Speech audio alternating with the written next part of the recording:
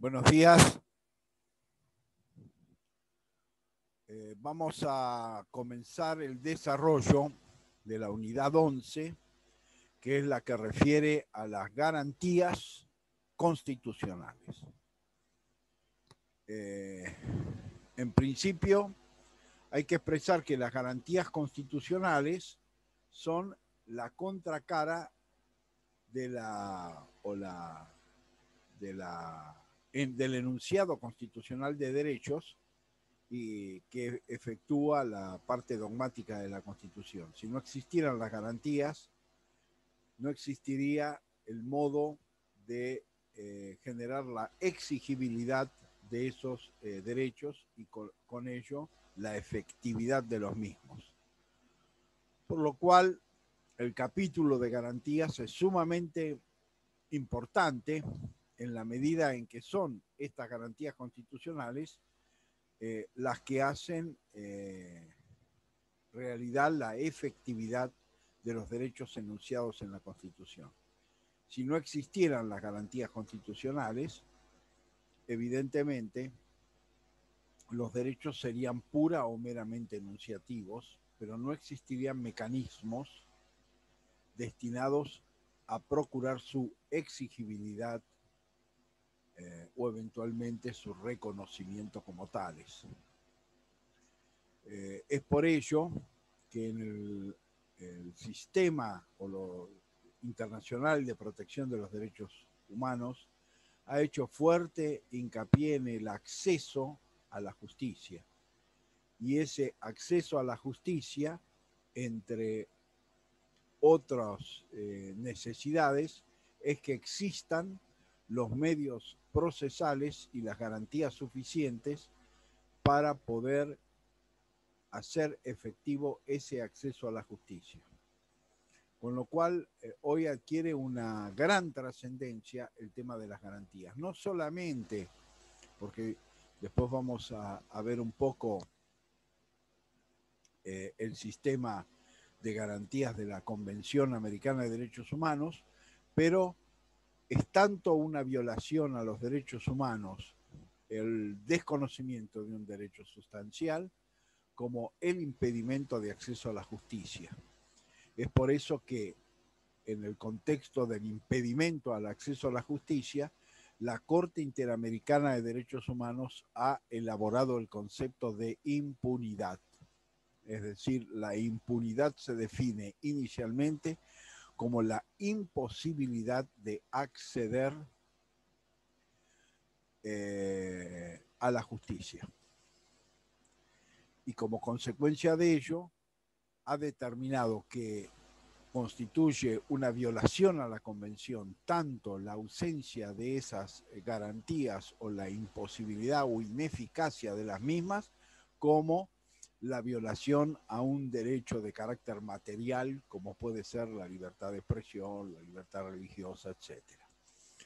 Por lo tanto, hoy por hoy, además, esta diferencia clásica que existió en el derecho entre un derecho material eh, representado, por ejemplo, por el artículo 14 o 14 bis de la Constitución Nacional o artículo 17 de la Constitución Nacional y el derecho formal, estaría representado por todos los, todo tipo de procedimientos y entre ellos eh, eh, los procedimientos no solamente penales, sino también civiles, laborales, etcétera, eh, como un derecho de segundo grado en la actualidad y por impacto del sistema internacional de derechos humanos y de protección del sistema internacional de derechos humanos y en particular por la interpretación que le ha dado la Corte Interamericana al artículo 8 de la Convención, es una violación a la Convención, tanto no contar con esas garantías como la violación del derecho material propiamente dicho.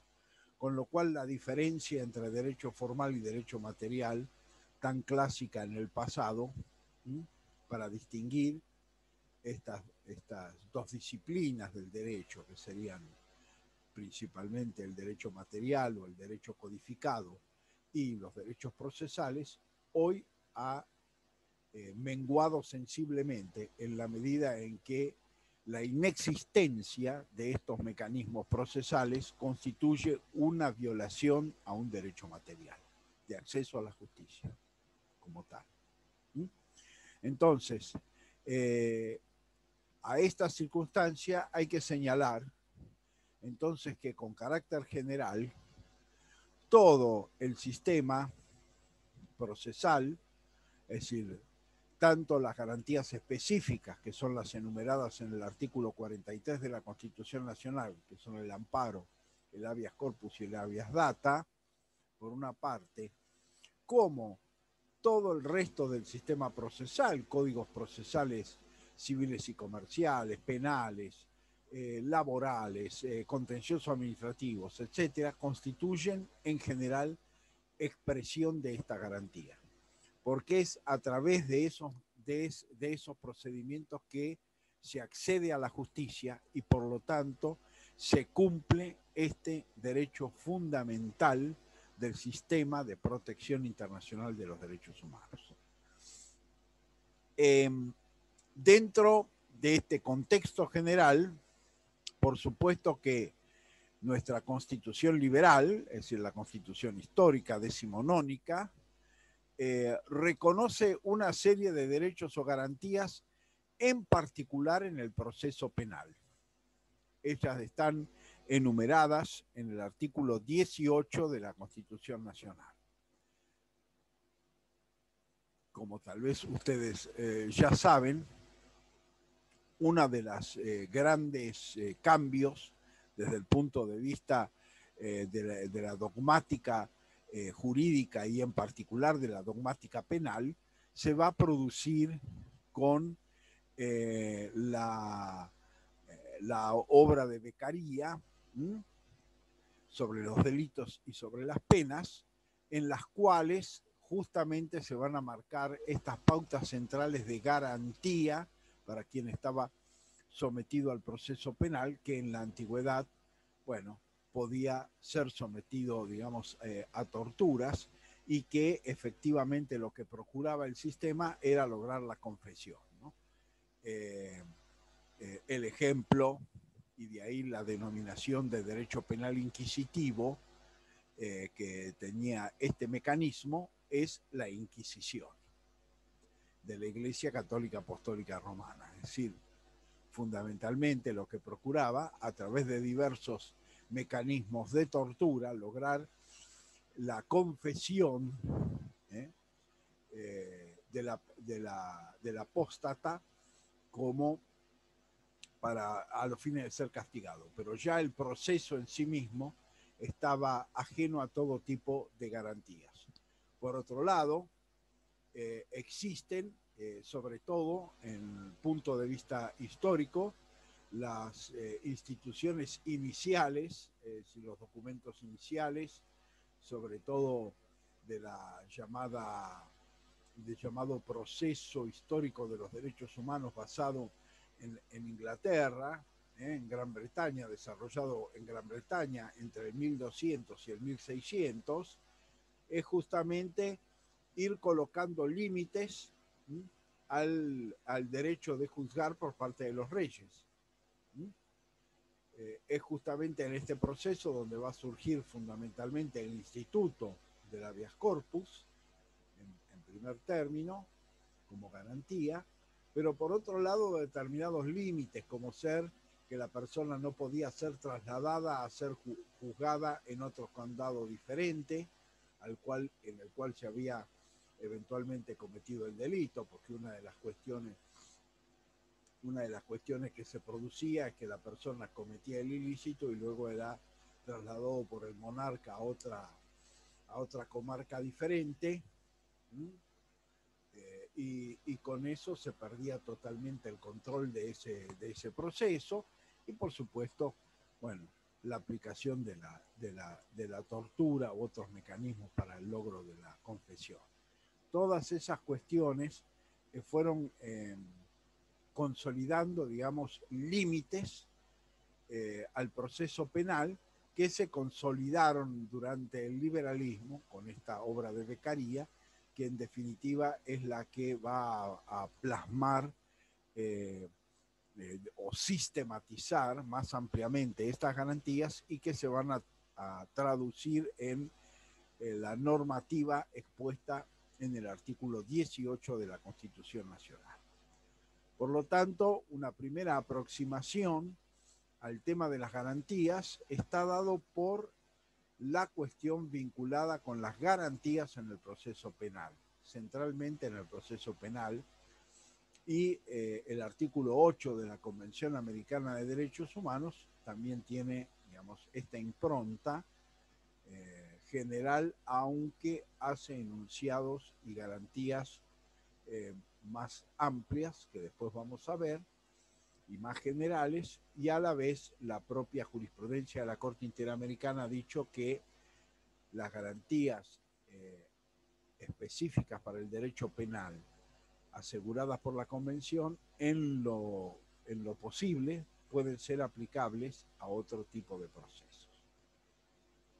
Vamos a entrar al análisis de, ese artículo 18. En principio, eh, define lo que se llama el principio de legalidad en materia penal ningún habitante de la nación puede ser penado sin juicio previo fundado en ley anterior al hecho del proceso. Esta es una primera, una primera regla que es lo que se llama la regla en materia penal de legalidad. Es decir, la conducta calificada como delictiva debe estar descripta por la norma penal con anterioridad a la producción del hecho. Es decir, que en materia penal no pueden aplicarse las leyes ex post facto, es decir, después que los acontecimientos han sucedido. ¿eh?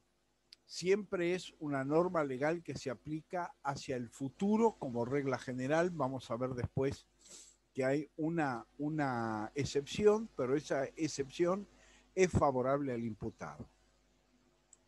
¿Qué significa este principio de legalidad? Bueno, tiene dos componentes fundamentales que son los de cualquier norma penal. Descripción del ilícito.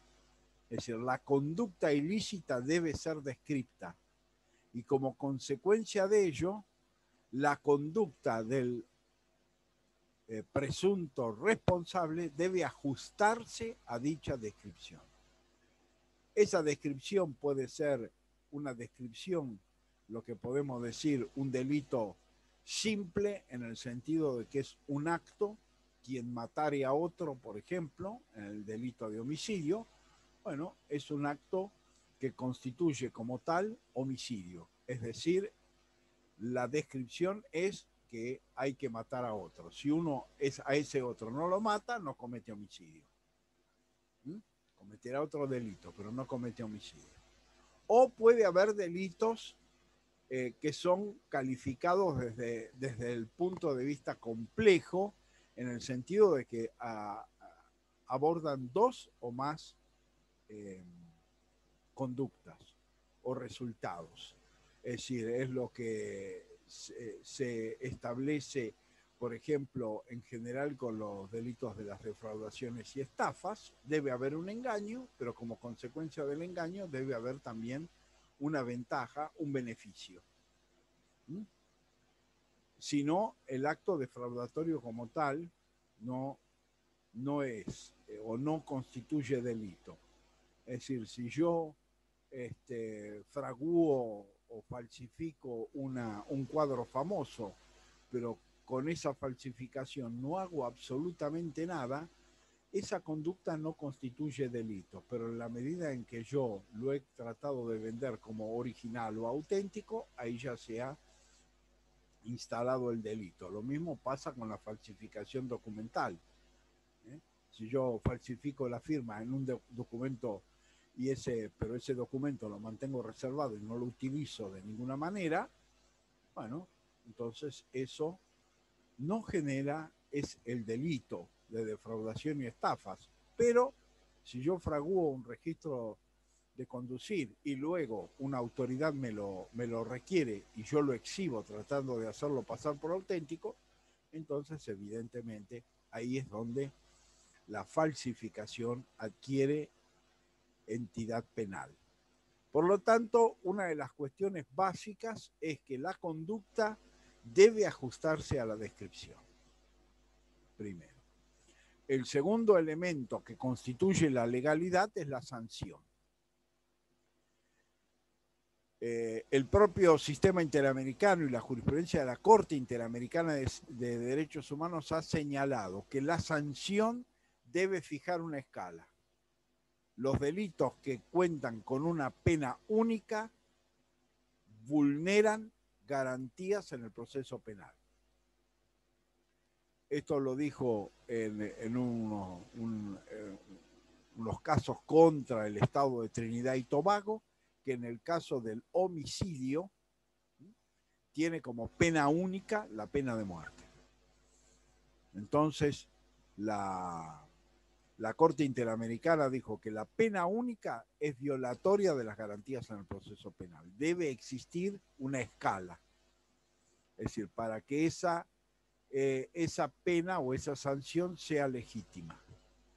En principio, ¿qué, ¿qué establece el principio de legalidad en relación a la pena? No se puede aplicar una pena menor, pero tampoco se puede aplicar una pena mayor a la prevista y luego existen una serie de antecedentes, atenuantes o agravantes que el juez debe evaluar a los fines de establecer una pena en el contexto de la escala. ¿Mm? Fijada. En nuestro sistema, en nuestro sistema penal, la pena máxima es la prisión perpetua, sin perjuicio de lo cual eh, en su momento, digamos, eh, también tenía prevista eh, un complemento que era reclusión por tiempo indeterminado, con lo cual no se podía obtener por modo alguno la libertad condicional.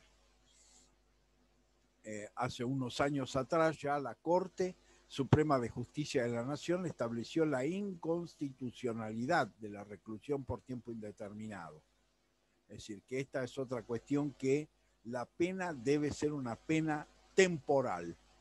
En el caso de la, prisión perpetua, se requieren, por lo menos para obtener, digamos, la, la libertad condicional, el cumplimiento de 20 años de prisión.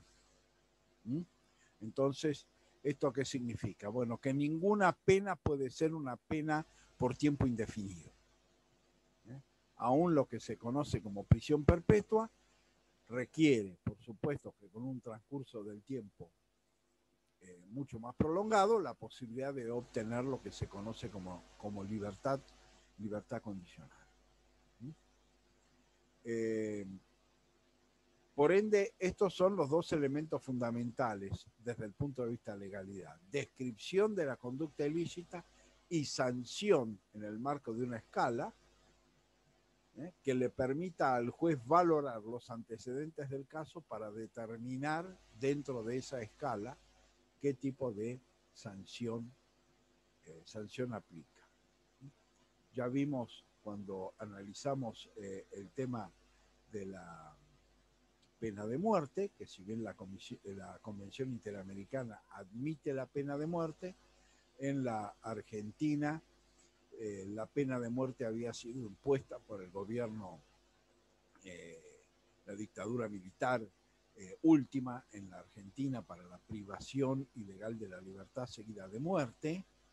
esa pena fue derogada por el Congreso Nacional al momento de la recuperación de la democracia. Permanecía la pena de muerte en el Código de Justicia Militar hasta que en 2010 el Código de Justicia Militar fue derogado en la eh, Argentina, producto de que sus procedimientos habían sido calificados, no en particular con relación a la Argentina, pero con otros países, por ejemplo Chile, en la cual la regulación guardaba eh, ciertas similitudes, en las cuales se colocaba una serie de eh, violaciones a la convención producto de esos procedimientos que no garantizaban eh, en, forma plena el debido proceso o la defensa en juicio.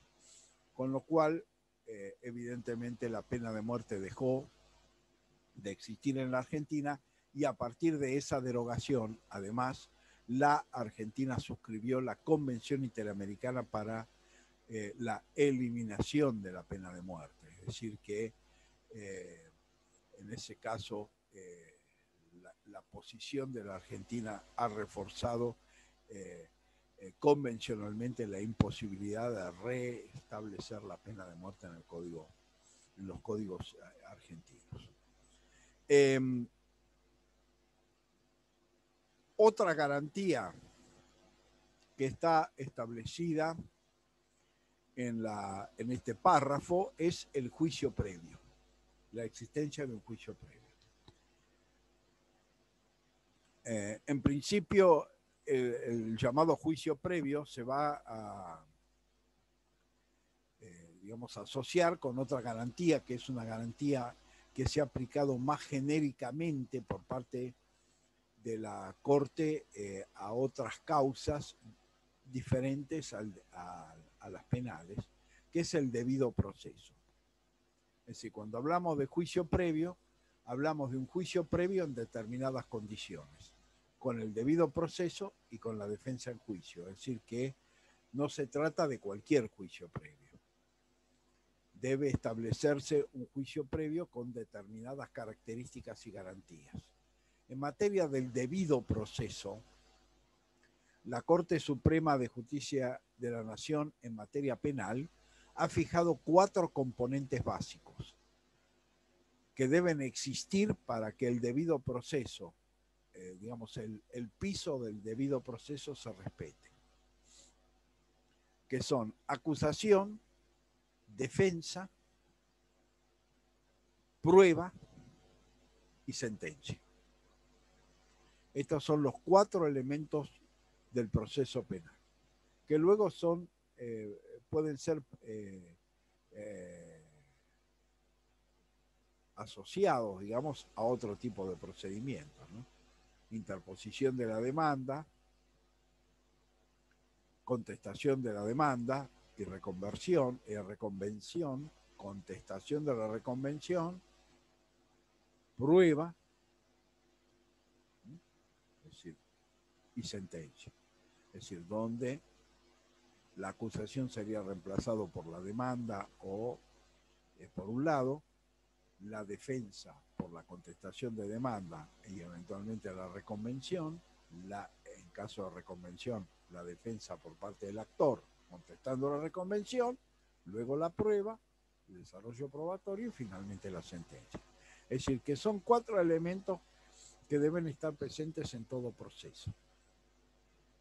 Y en particular en materia penal, estos cuatro elementos fundamentales. La acusación, que en materia penal es llevada por, el, por la Fiscalía, por el Ministerio Público Fiscal y eventualmente por las querellas, si se han eh, eh, incorporado a la causa, es decir, que la presencia de las querellas es voluntaria, pero es eh, indispensable la intervención del Ministerio Público y la formulación de acusación por el Ministerio Público.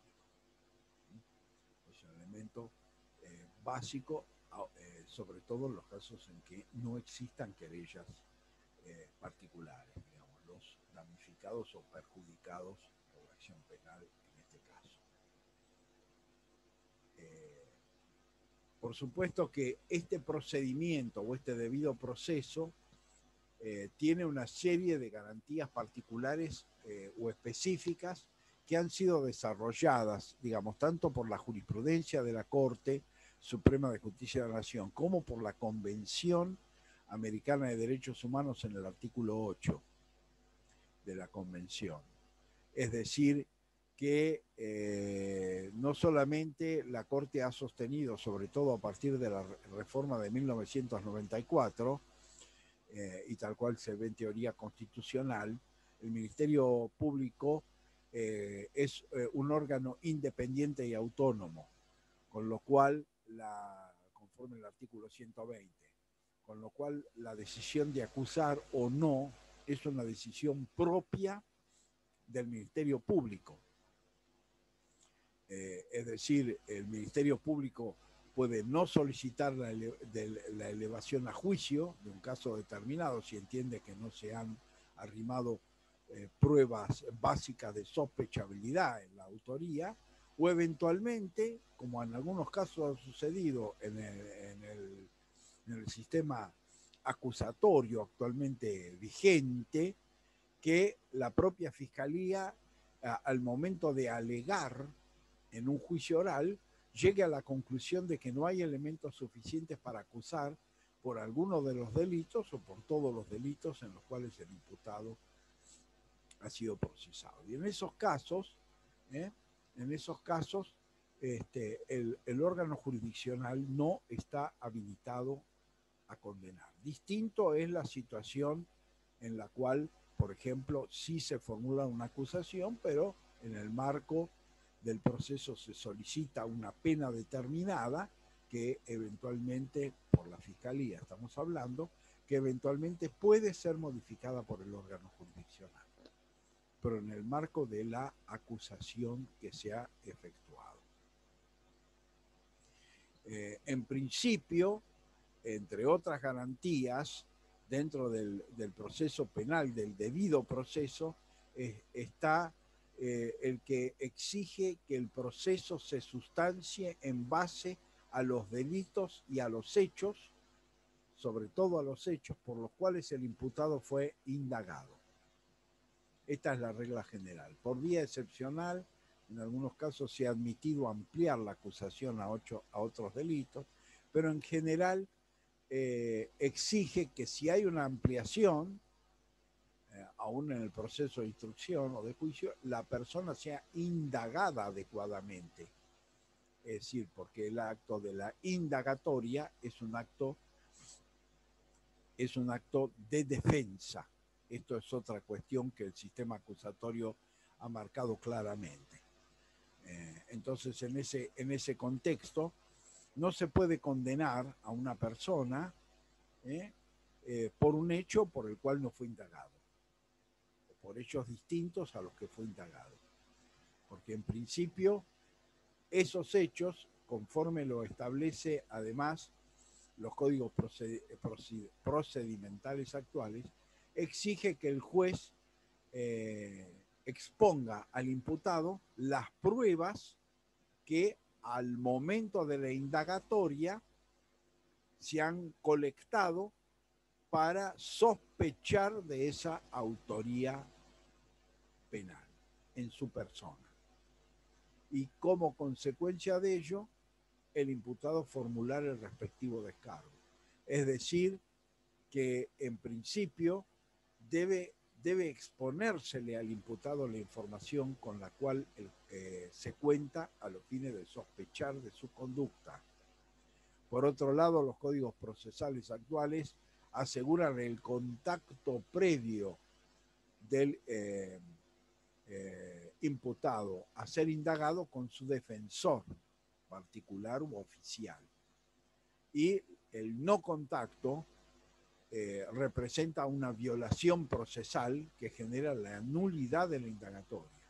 Es decir, que este debido proceso hoy por hoy está digamos, marcado por toda una, serie de cuestiones que eh, han sido complementadas, ya sea por los códigos procesales, por ejemplo en este caso, por la Convención Americana de Derechos Humanos en el artículo 8 que establece, por ejemplo, eh, contar con tiempo suficiente para la formulación de la defensa, es decir, que debe darse la totalidad de los elementos de cargo y por un plazo razonable para la formulación de la, respectiva defensa, es decir, que debe tomarse contacto con la totalidad de las actuaciones, eh, debe contarse con un traductor si la persona imputada carece eh, de eh, conocimientos del idioma o lo conoce muy relativamente, es decir, que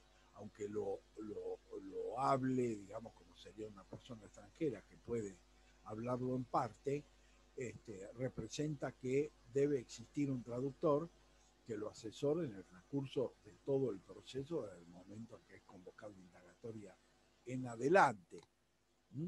Por ejemplo, entonces si es una persona extranjera que no maneja el idioma o lo maneja con dificultad y no se ha convocado a una eh, a un traductor, esto puede acarrear la nulidad del procedimiento porque se entiende que la persona no ha tenido la posibilidad de defenderse adecuadamente a partir de no haber podido comprender cabalmente la acusación, los motivos de su detención, etc. Otra garantía fundamental que es, es, eh, es esencial es que eh, por ejemplo, dentro del debido proceso, la persona debe ser notificada inmediatamente, aún por el órgano preventor de los motivos de su detención, y esta tiene que ser puesta en forma inmediata en conocimiento del órgano competente, ya sea órgano jurisdiccional, como es eh, hasta el momento el juez federal de primera instancia o de la fiscalía, como sucede en la provincia de Buenos Aires, que la instrucción penal preparatoria la tiene el Ministerio Público Fiscal. Entonces, esto requiere una inmediato conocimiento, por ejemplo. Es otra garantía básica y fundamental. ¿Por qué? Porque justamente la ausencia es decir, uno de los mecanismos por los cuales en la, eh, en la Argentina, y, pero en otros países también se ha aplicado la tortura, es cuando la persona es detenida, pero no se sabe dónde se encuentra. Y después de tres días o de cuatro días dice, bueno, está detenido en tal lugar. Y mientras tanto no ha habido nadie que ha podido controlar la situación de esa persona detenida y eso permite bueno, una serie de, de, de, a premios ilegales o torturas a los fines de obtener una, una, confesión. Otro límite que se ha instalado y que se ha instalado procesalmente es la irrelevancia de la llamada eh, confesión extrajudicial. Es decir, que si la persona confiesa ante el, ante el órgano preventor, por ejemplo, y luego desmiente esa confesión ante la autoridad jurisdiccional competente, lo que vale es esa declaración ante el órgano jurisdiccional. La confesión extrajudicial carece de todo valor probatorio, cosa que en, procesos eh, penales inquisitivos, sobre todo, la confesión extrajudicial seguida de algún elemento de prueba convalidante podía ser plena prueba de responsabilidad penal. Hoy no tiene esa calidad. Entonces es otra garantía a fin de procurar desterrar, por ejemplo, las prácticas ilegales dentro del procedimiento, dentro del procedimiento penal. Por otro lado, ah, los procedimientos han garantizado el debido proceso a través de la posibilidad de que el indagado se niegue a declarar sin que esto pueda calificarse eh, como presunción en contra del mismo. Es decir, que eh, esto convalida eh, el hecho de que la indagatoria es un acto de defensa. Un acto de defensa que puede ser ejercido en distintos momentos del procedimiento por el imputado, dentro de la instrucción y dentro del juicio oral, digamos, este, hasta el cierre, digamos, del proceso probatorio que la persona puede eh, declarar. Por lo tanto, ha, sucedido, los juicios orales sucede bastante comúnmente como estrategia defensista, que inicialmente un, paso previo en el juicio oral es la convocatoria eh, del imputado a prestar declaración indagatoria en el juicio oral. esta es, es, una situación que en general el imputado se niega, pero cuando ha se ha desarrollado el ámbito probatorio, entonces ahí presta declaración, por ejemplo. o puede definitivamente no declarar en ninguna instancia del proceso. Y eso no es presunción en su contra. Pero puede declarar cuantas veces lo desee, por ejemplo. ¿eh? Si ha prestado una vez declaración eh, indagatoria, puede pedir una nueva declaración, una tercera, una cuarta. No hay, justamente por esta calidad de acto defensista. Es decir, no es un acto acusatorio, sino es un acto defensista. No es para, para que el imputado confiese, sino para que el imputado se defienda. Entonces, esta característica también propia del sistema acusatorio, ¿eh? hoy constituye también una garantía del debido proceso. ¿Mm? Eh, el contacto del defensor con su defendido en, condiciones de privacidad, es decir, que le, permita comunicarse libre y en forma libre y abierta, es decir, sin presencia de agente preventor, sin presencia del fiscal, sin presencia de un órgano, de un juez, etcétera, en forma privada. Bueno, esto también es una garantía que está en la Convención Americana de Derechos Humanos, ¿eh? la libre, libre, a ver qué dice acá. los procesados, procesados en la de Buenos Aires. Bueno, esa es otra cuestión que ahora voy a abordar, porque no hay condenas. Eh, que también es parte del debido, del debido proceso, esto es una garantía, eh, eh, que es una garantía general, que es el principio de razonabilidad de la duración de los procesos penales y cuándo hay sentencia firme. Pero eso lo vamos a ver un poco más adelante. Porque hay un número importante de procesados y un número muy inferior de condenados. Bueno. Em, entonces, eh, el debido proceso está marcando todas estas cuestiones, entre las cuales también está el derecho a recurrir de parte del imputado eh, la sentencia condenatoria ante un órgano superior. Es decir, este, el recurso, el derecho a recurrir, eh, la, Corte, la Corte Suprema de Justicia de la Nación ha dicho que el derecho al recurso no es un derecho garantizado constitucionalmente. Es decir, que por lo tanto podrían existir lo que llaman procedimientos de instancia única sin vías recursivas.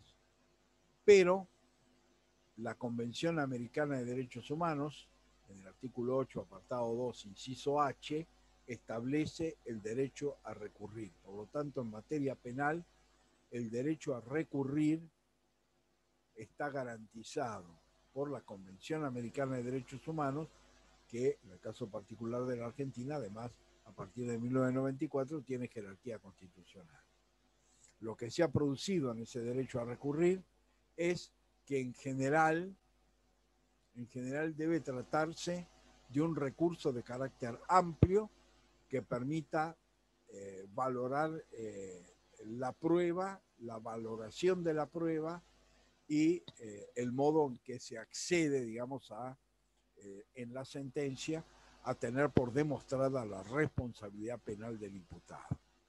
¿Mm? y la relación entre esa responsabilidad, los atenuantes, los agravantes y la sentencia, la condena, la sanción finalmente aplicada. Es decir, que el, la, el análisis debe ser un análisis amplio. Eh, en realidad, eh, ha habido sentencias de la Corte Interamericana de Derechos Humanos en la cual eh, justamente ha calificado como violatoria del artículo 8, apartado 2, inciso H, de los procedimientos recursivos limitativos. Limitativos, es decir, que solamente, por ejemplo, se pueden apelar o se pueden examinar las cuestiones de derecho, pero no las cuestiones de hecho. ¿Mm? Em, eh, por vía jurisprudencial, eh, porque nuestro sistema penal establece un mecanismo casatorio, digamos, un recurso de casación que cuenta con determinadas limitaciones, con determinadas restricciones, pero la Corte Suprema de Justicia de la Nación, siguiendo estos precedentes de la Corte Interamericana, ha establecido que el recurso debe producir el máximo de su rendimiento. Y sobre todo, eh, en este caso, uno de, los, uno de los temas fundamentales es que, bueno, habilita al examen de toda la prueba que se haya podido incorporar al proceso penal. En nuestro sistema penal, por lo menos hasta el actualmente vigente, las constancias del juicio oral no se registran en forma oficial. Es decir, no hay un mecanismo, ustedes habrán visto, es bastante común en el sistema norteamericano de oralidad, existe lo que se llaman los taquígrafos, es decir, que hay un, un, personal que va eh, transcribiendo el desarrollo del proceso, lo que deja constancia a los fines de las vías recursivas posteriores. Bueno, nuestro sistema oral no tiene estas posibilidades.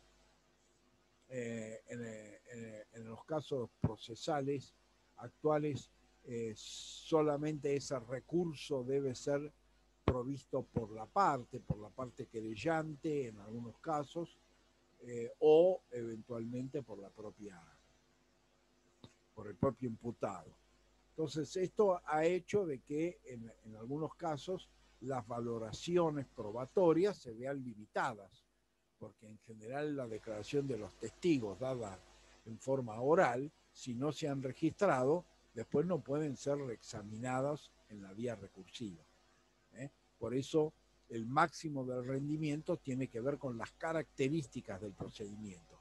Y esto ha hecho, en particular, que en el caso de los llamados eh, juicios de lesa humanidad, los procedimientos son filmados en forma integral.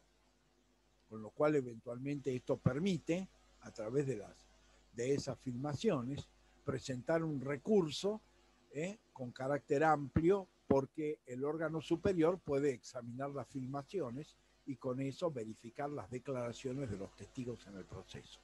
¿Mm? Eh, pero a pesar de las limitaciones formales que el Código Procesal contiene en materia eh, federal, por ejemplo, la Corte ha dicho de que se exige el máximo de rendimiento y por lo tanto las, las cuestiones deben ser examinadas ampliamente y además ha sostenido de que las cuestiones de hecho y de derecho es una distinción dudosa, que en general, eh, si yo impugno una cuestión de derecho, por ejemplo, esto es eh, eh, el delito de lesiones leves o de lesiones graves, por ejemplo, que es una cuestión de derecho, es decir, la norma describe cuándo hay una lesión leve y cuándo hay una lesión grave y la sanción correspondiente, para yo determinar el orden normativo aplicable tengo que examinar las cuestiones de hecho que me puedan acreditar los extremos del tipo penal descrito para una forma u otra. Con lo cual lo que ha dicho la Corte también es que esta distinción entre cuestiones de derecho y de cuestiones de hecho es relativa. En el caso contencioso particular, por ejemplo, se analizaba el tema de la ofensividad del arma, porque una de las cuestiones, bueno, que también divide a la dogmática penal y a la jurisprudencia, es que para que eh, un delito eh, sea agravado por el uso de armas, eh, hay una parte importante de la jurisprudencia de la doctrina que dice que el arma debe ser ofensiva, es decir, debe funcionar, debe estar cargada, por ejemplo, ¿eh? debe tener todas sus partes en funcionamiento, si, si carece del gatillo o carece del percutor, etcétera, sería un arma inofensiva y no constituiría la forma agravada del delito. Para otros, la sola exhibición del arma, aun cuando no funcione, constituye acto de agravamiento. Y entonces lo que la Corte va a decir es que para determinar si eventualmente estamos ante la forma agravada de uso de armas, eso obliga también a examinar las pericias que se hicieron sobre el arma, etcétera, etcétera, las cuestiones de hecho que han sido probadas en el proceso. ¿Mm? Entonces, esta cuestión de mayor rendimiento y de eh, relatividad de la distinción entre cuestiones de hecho y de derecho ha hecho de que en general este, eh, se haya entendido aún por vía jurisprudencial, por vía pretoriana, de que el recurso debe ser o debe generar el más amplio aspecto de análisis posible conforme las circunstancias de cada caso. Entonces, bueno, ahí tenemos otra, otra cuestión que hace centralmente, digamos, eh, al, tema del debido proceso. Eh, también otro, otro aspecto fundamental, digamos, del juicio, del juicio previo es la defensa en juicio. Esto ha evolucionado también en la, en la, en la legislación y en la jurisprudencia, la legislación procesal y en la jurisprudencia. Eh, ¿Por qué? Porque ha evolucionado al concepto de lo que se denomina defensa efectiva. No basta contar con la designación de un defensor oficial o un defensor particular. Ese defensor oficial o particular debe tener una gestión activa en el proceso. Por ejemplo, ha habido casos en los cuales la Corte Suprema de Justicia ha declarado la nulidad de un juicio oral en la medida en que se acreditó la no intervención de la defensa en el transcurso del proceso. No repreguntaba a los testigos, no formulaba ningún tipo de intervención, es decir, no había, la defensa era una mera defensa formal que había perdido total efectividad. Entonces, un concepto básico en materia de defensa y sobre todo en la cuestión penal es que la defensa debe ser efectiva, ya sea particular o oficial. Este, ya que, bueno, en el caso particular del, proceso penal, eh, todo imputado debe contar con una defensa particular u oficial y cualquiera sea su condición económica, si no designa un defensor oficial, cuenta con un defensor particular. ¿Mm? Eh, si no cuenta con un defensor particular, perdón, debe contar con un defensor oficial. Es decir, que eh, no importa la condición económica del imputado, eh, si no designa un defensor particular, el defensor oficial debe intervenir. ¿Mm? Em, entonces, eh, ahí otra cuestión es que la defensa debe ser una defensa efectiva. otra cuestión que incorpora también la jurisprudencia eh, de la Corte Suprema de Justicia de la Nación es que debe primar en materia procesal la voluntad del imputado o del procesado o del condenado. Es decir, si el condenado decide apelar, por ejemplo, la defensa, eh, salvo eh, situaciones este, que, eh, que, resulten, digamos, absolutas o groseramente improcedentes, pero la defensa tiene la obligación de fundar esa voluntad recursiva. Y en algunos casos, por ejemplo, ha habido casos jurisprudenciales de la Corte Suprema en lo que se llaman recursos eh, extraordinarios federales interpuestos in pauperis, es decir, pobremente, que son generalmente interpuestos eh, y fundados exclusivamente por el imputado y no acompañados por la defensa, la Corte Suprema los ha devuelto a la instancia inferior, a fin de que la defensa efectúe la respectiva fundamentación del recurso interpuesto por el imputado. Esto es una cuestión que también hace al debido proceso y al juicio previo, ¿no? Es decir, el hecho de que debe primar por regla la voluntad del imputado y no imponerle una determinada conducta por medio de la defensa. Es decir, ya sea en los medios recursivos, como los que he explicado, o las formas alternativas de finalización del proceso, como la interrupción del juicio a prueba, etc. no deben ser impuestos por la defensa, sino que deben ser decisiones libres del imputado. con la información adecuada, debida, etc. Eh, entonces acá también es un componente del debido proceso eh, y de la defensa en juicio. Así que la defensa tiene que ser una defensa efectiva.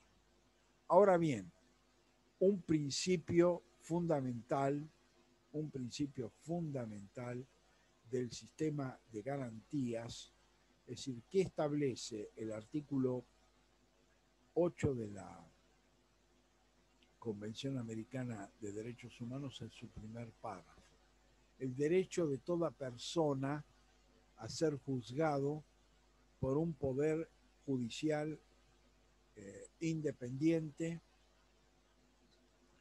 y este, imparcial, es decir, independiente, imparcial eh, y este, competente. Es decir, estos son los tres elementos, eh, elementos fundamentales que define el primer párrafo del artículo 8, es decir, que el Poder Judicial debe ser un Poder Judicial independiente, es decir, no debe responder a la voluntad o la orden de otros poderes, debe ser imparcial, no debe haber interés entre eh, eh, eh, contradictorio entre quien va a juzgar y las partes en el proceso. Es decir, hay lo que se llaman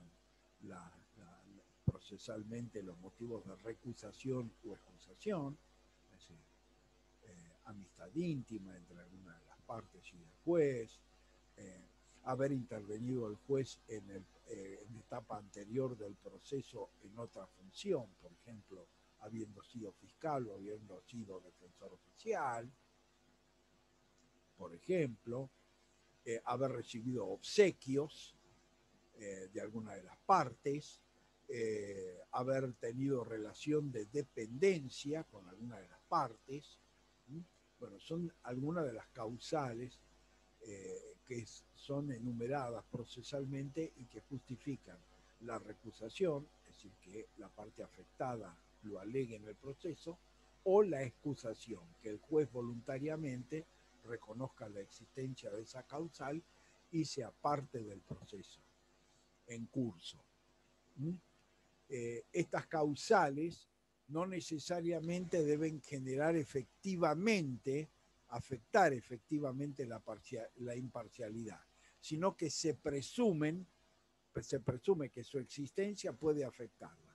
Y por lo tanto, esa presunción eh, de por sí eh, hace que el órgano jurisdiccional o el juez a cargo deba apartarse de continuar conociendo en ese proceso penal. Eso hace a la imparcialidad. Y luego la competencia, porque como lo, establece también el, el propio artículo 18 de la Constitución Nacional, nadie puede ser juzgado por comisiones especiales ni apartado del juez de la causa. Es decir, que el juez tiene que ser competente también en la medida en que es competente por una ley previa al hecho, porque eso garantiza justamente su independencia y su imparcialidad. Las comisiones especiales son los casos de los que se llaman tribunales ex facto, es decir, tribunales creados a los fines de juzgar conductas producidas con anterioridad. Entonces se entiende de que en esos casos hay una vulneración de la defensa en juicio y del debido proceso ¿eh? en la medida en que se puede generar la composición de un tribunal proclive al juzgamiento de esos hechos que ya han acaecido, que ya se han producido, y juzgarlos en términos condenatorios, por ejemplo. Entonces, esto representa que no puede ser juzgado por comisiones especiales. La Constitución hace referencia a las comisiones especiales como aquellas, eh, eh, aquellos órganos ex facto, es decir, creados después de los hechos para juzgar eh, los mismos. Y por otro lado, no puede ser sacado del juez, es decir, lo que se llama el concepto de juez natural, ¿no? Sacado de los jueces designados por la ley antes del hecho de la causa. ¿eh? Es decir, que ahí se establece un principio de legalidad procesal, en ese caso también, que tiene que ver con el debido proceso y la defensa en juicio.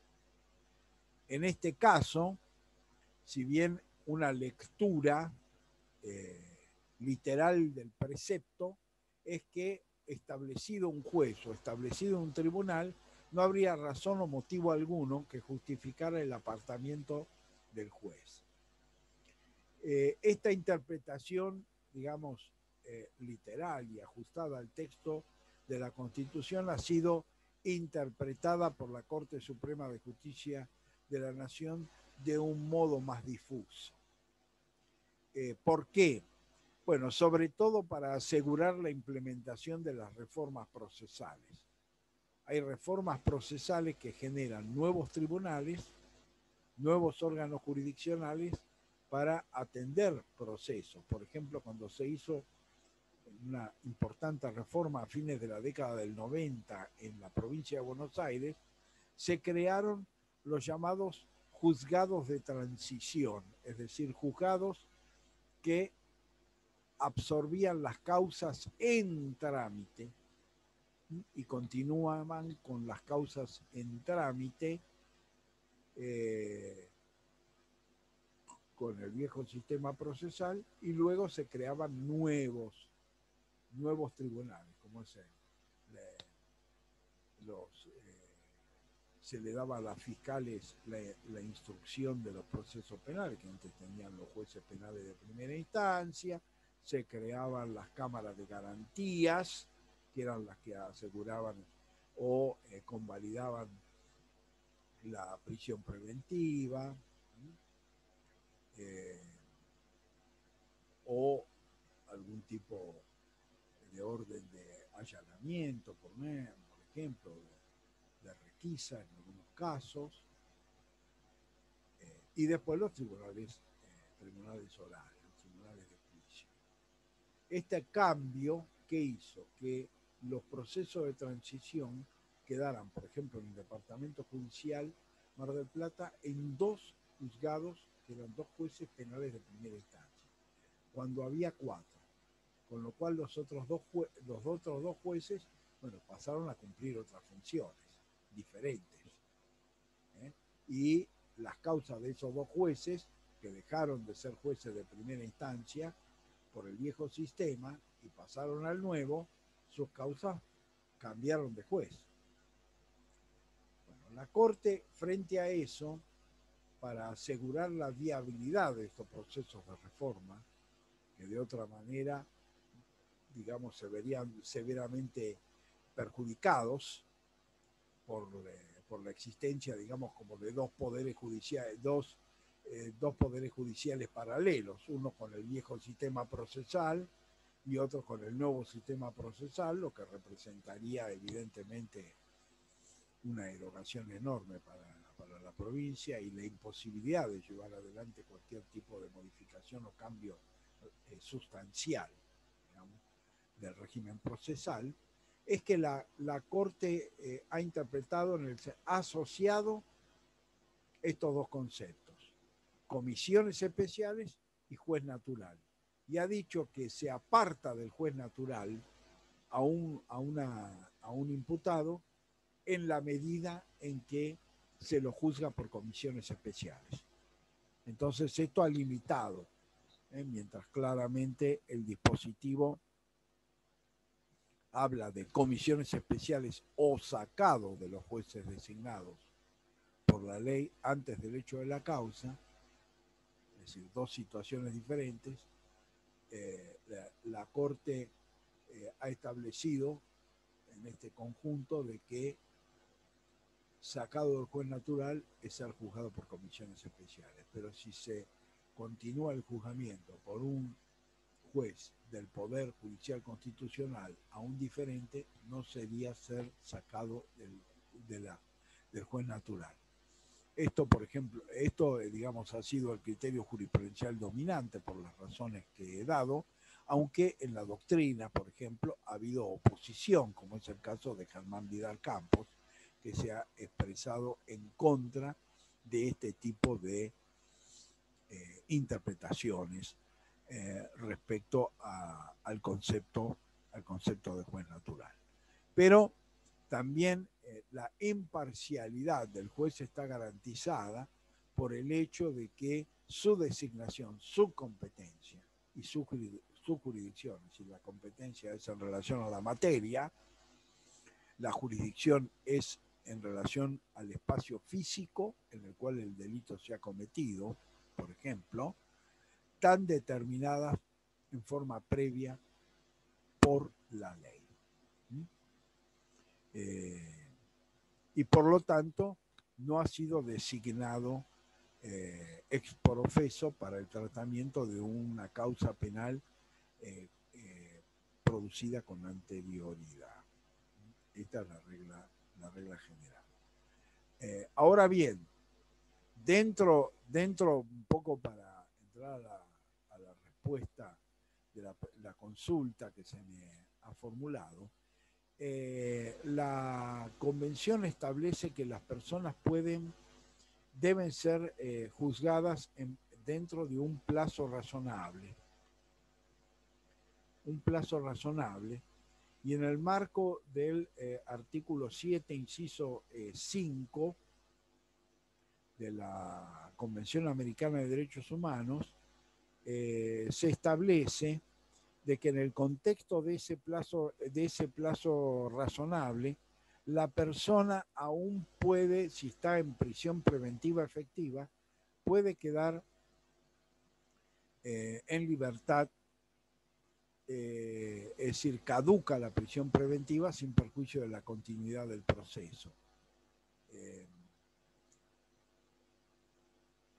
Esto se vincula con dos cuestiones fundamentales que son decidir cuándo hay sentencia definitiva, es decir, que nadie es culpable, porque a la vez después está otro principio que es el principio del llamado principio de inocencia, es decir, que nadie está obligado a declarar contra sí mismo y por lo tanto es considerado inocente hasta que tiene la condena de un juez competente. Esa condena firme que es la que en definitiva establece cuando una persona pasa de ser procesado a ser condenado, tiene dos regímenes diferentes. El sistema interamericano y la jurisprudencia de la Corte Interamericana de Derechos Humanos ha fijado que hay, eh, la persona se mantiene en la calidad de procesado hasta que se agotan todas las vías recursivas posibles, ordinarias y extraordinarias. Es decir, que no hay sentencia firme si se ha apelado a la Corte de la Provincia de Buenos Aires o a la Corte Federal hasta que no haya sentencia de esos órganos, digamos, eh, de carácter extraordinario, de recurso extraordinario. ¿Mm? ¿Qué significa esto en la Argentina? 15 años.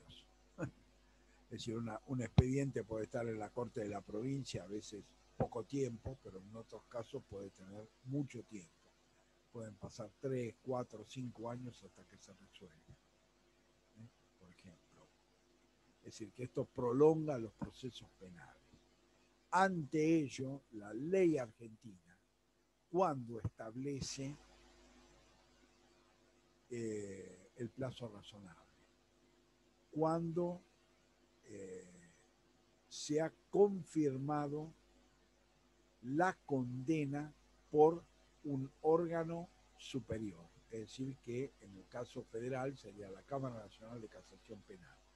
Si la condena está confirmada por la Cámara Nacional de Casación Penal, para la legislación argentina y sentencia definitiva.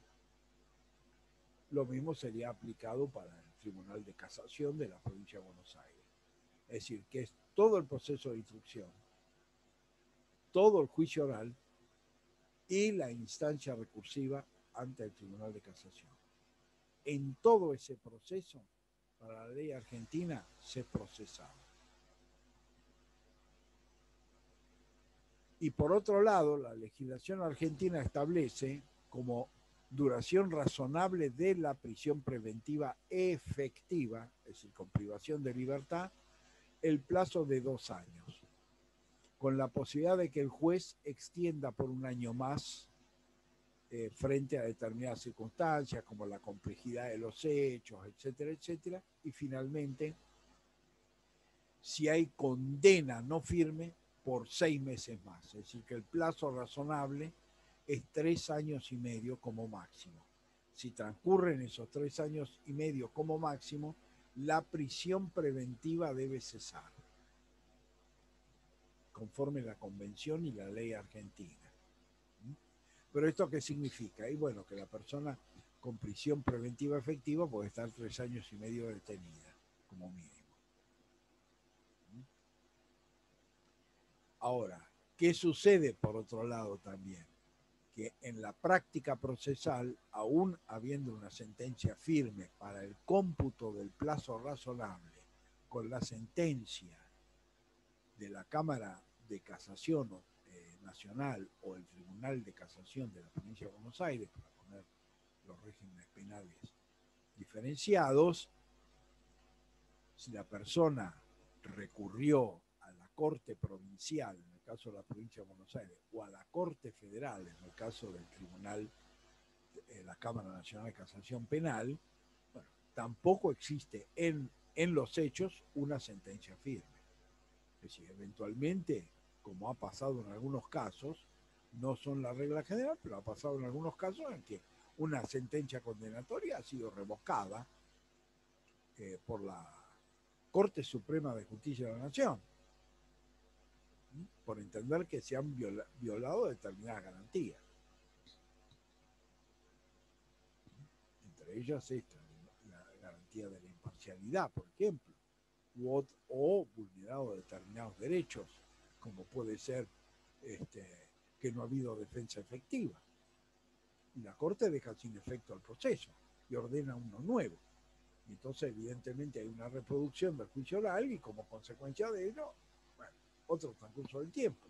Y quién sabe, la Corte lo resolvió después de tres o cuatro años, que ese caso se ha incorporado o se ha introducido al conocimiento de la Corte Suprema Provincial o de la Corte Suprema Nacional.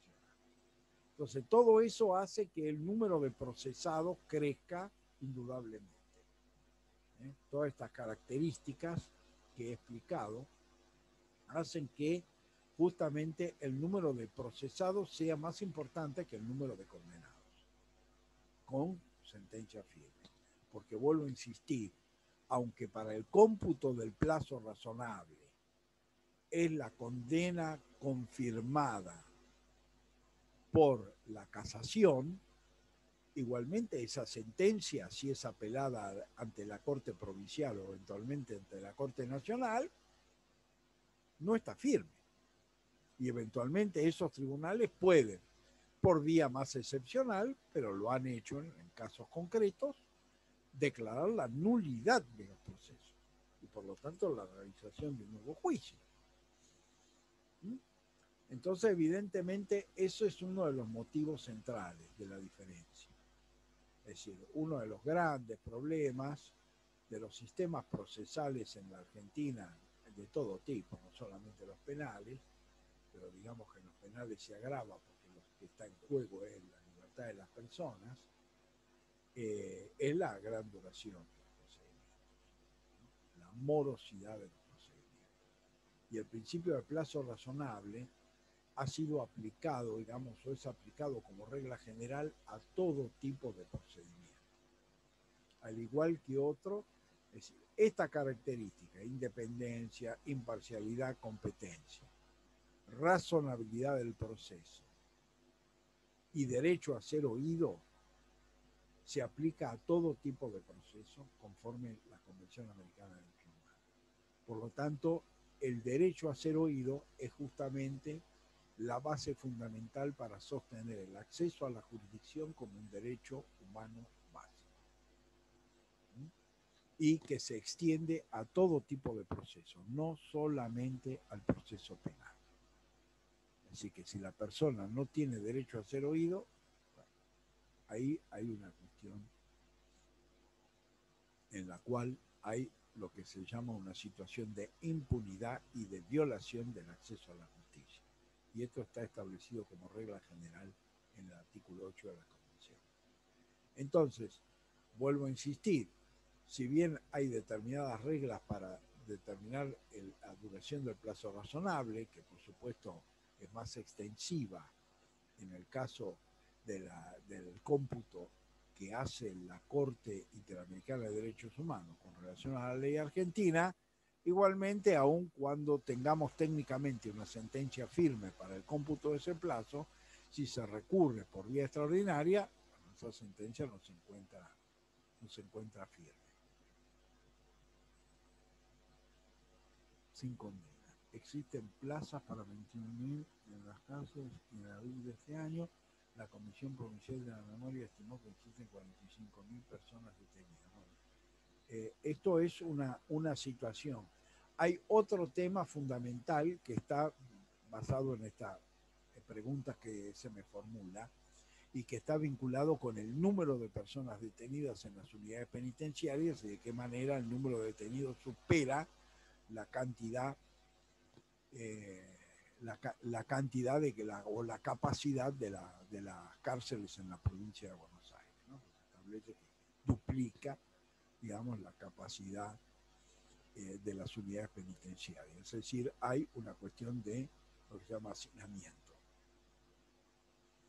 Eh, hay que decir que de acuerdo a la jurisprudencia de la Corte Interamericana de Derechos Humanos, este, el hacinamiento, el es una, una de las causales de vulneración eh, del artículo 5 de la Convención, que como ustedes recordarán, eh, el, segundo apartado establece el derecho de, de, ser tratado dignamente por toda persona privada de libertad. Bueno, este amplio concepto de dignidad, entre otros elementos, abarca no solamente las condiciones en que la persona es detenida, ¿eh?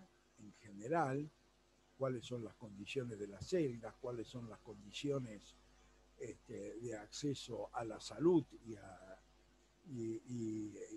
la higiene, eh, sino también el hacinamiento de las unidades penitenciarias. Esto es eh, una violación a la convención, eso lo ha reiterado la Corte Interamericana de Derechos Humanos cuando ha tratado en particular esta, esta temática. Ahora bien, la cuestión de los procesados detenidos. Bueno, esta es una cuestión de política criminal y una política criminal que tiene un fuerte efecto social.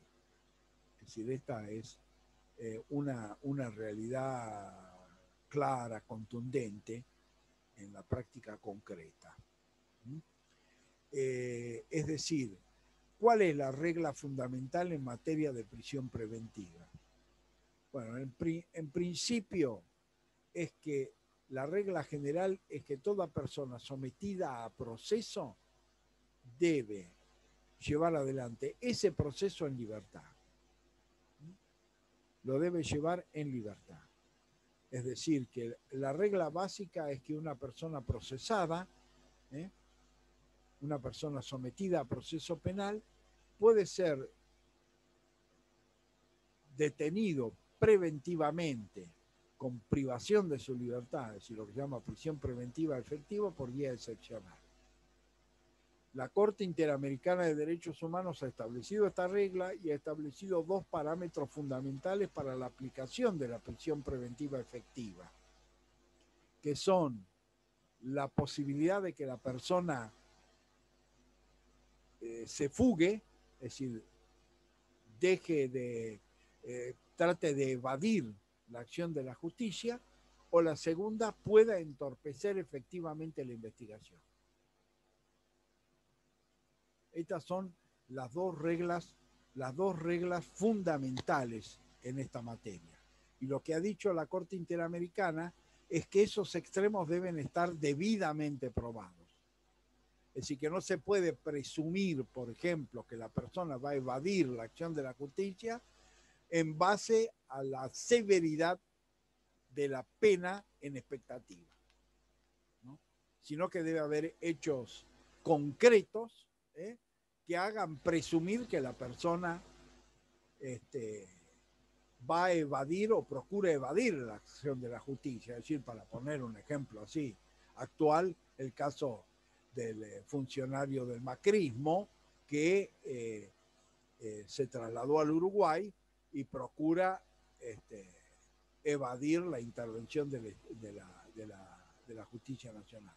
Es muy probable que si se hace lugar a la extradición, luego el juez determine su detención efectiva. ¿Por qué? Porque ha habido una conducta objetiva que se ha puesto de manifiesto en el sentido de poder, de procurar eludir la intervención de la justicia nacional en su caso, por ejemplo. O en los casos concretos en los cuales por, la, por el posicionamiento efectivo que la persona tiene, pueda este, entorpecer la investigación. Bueno, esto es lo que en, este segundo caso es lo que se criticó sobre todo de lo que se conoce como la doctrina Irursum, que es que la persona, aún habiendo dejado la función pública y no ocupando un cargo público efectivo, bueno, podría tener un, digamos, un residuo a favor de poder entorpecer las investigaciones. Esto es este, eh, una, una cuestión que en realidad está vulnerando esta garantía porque debe haber una razón, una razón objetiva que acredite la posibilidad y no hipotética. Por otro lado, lo que ha dicho la Corte Interamericana de Derechos Humanos en este sentido es que aun cuando se presume que pueda entorpecer una, eh, la, investigación, una vez que se ha agotado la instancia investigativa preventiva, entonces la persona no tiene sentido mantenerla que continúe privado de libertad. Es decir, es que mientras la causal resulte objetivamente acreditada. Pero si la situación objetiva se modifica porque la investigación se ha agotado, evidentemente ya no hay más nada que se pueda entorpecer y por lo tanto debe haber libertad. Eh, hay una cuestión fuertemente cultural que tiene que ver con eh, lo que se ha llamado vulgarmente la puerta giratoria, es decir, que los detenidos entran por una puerta y salen por la otra, que ha hecho que la política criminal se endurezca. Esto es una realidad, es una cuestión centralmente cultural. ¿Por qué? Porque hay una cultura a la vez que si la policía te detuvo, vos sos culpable. Esta es la primera etapa de un proceso. Nadie es culpable hasta que no tiene sentencia firme de juego competente. Y ese es un sistema constitucional decimonónico, es decir, no es nada eh, novedoso. Es decir, es un sistema, digamos, del constitucionalismo liberal, eh, del constitucionalismo eh, histórico. Por lo tanto, una, una, una cuestión que influye muy fuertemente es esta. Entonces, por ejemplo, eh, las posibilidades de acceder, a, la libertad, digamos, en el transcurso del proceso, muchas veces las leyes lo van endureciendo, la van reduciendo de acuerdo a determinados tipos de delitos, como fue en el pasado. ¿eh? Bueno, si tiene pena superior a tres, tres años, si tiene pena superior a tantos años, se puede establecer la prisión preventiva efectiva, etcétera, etcétera. Bueno, esos son parámetros que se han ido aplicando, eh, pero que por la jurisprudencia de la Corte Interamericana no son procedentes. Y esto ha hecho de que justamente haya un número muy importante de personas detenidas. A lo cual se suma esta cuestión de la prolongación de los procesos y aún vencidos esos plazos, bueno, que los jueces efectivamente hagan cesar la prisión preventiva y otorguen esa libertad, también es otro, otro tema, digamos, este, eh, respecto a la operatividad de esos dispositivos de duración temporal de la prisión preventiva. Bueno, todo eso ha hecho de que en general este, estemos ante esta realidad. De que eh, hay una,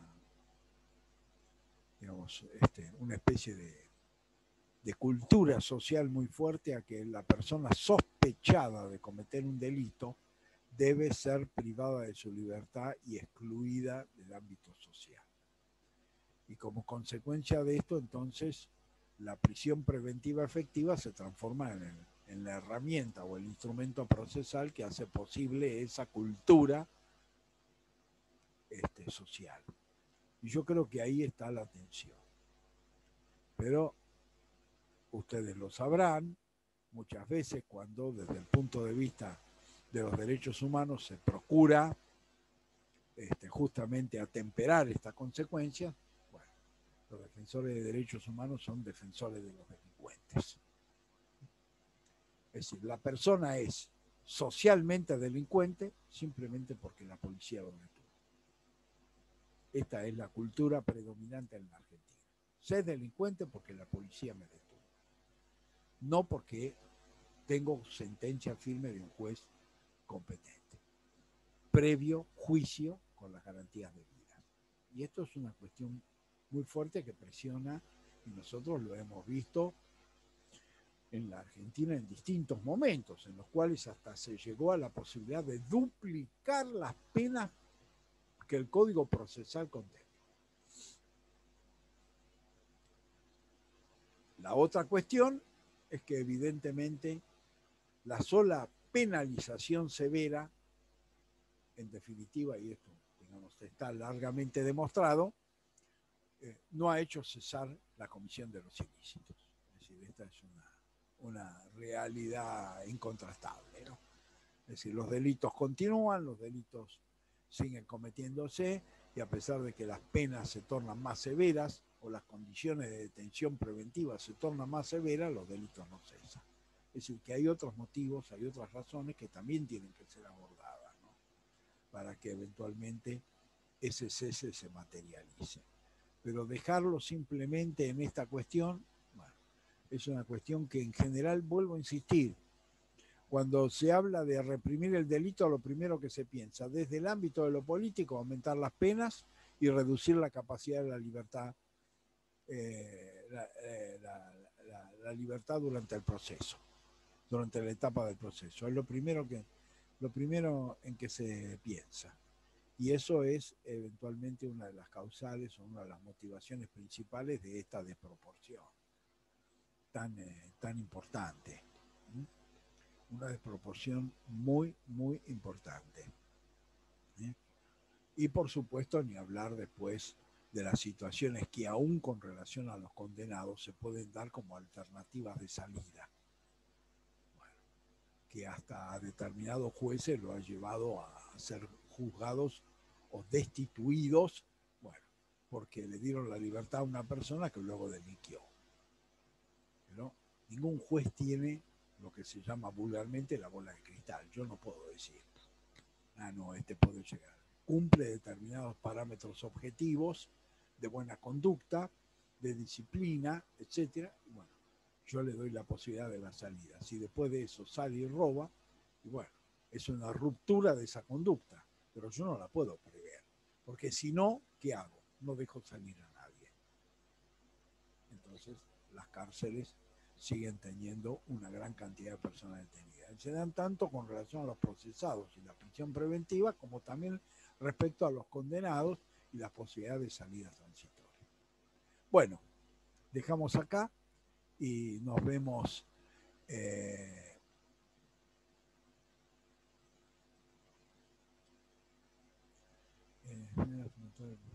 por este motivo,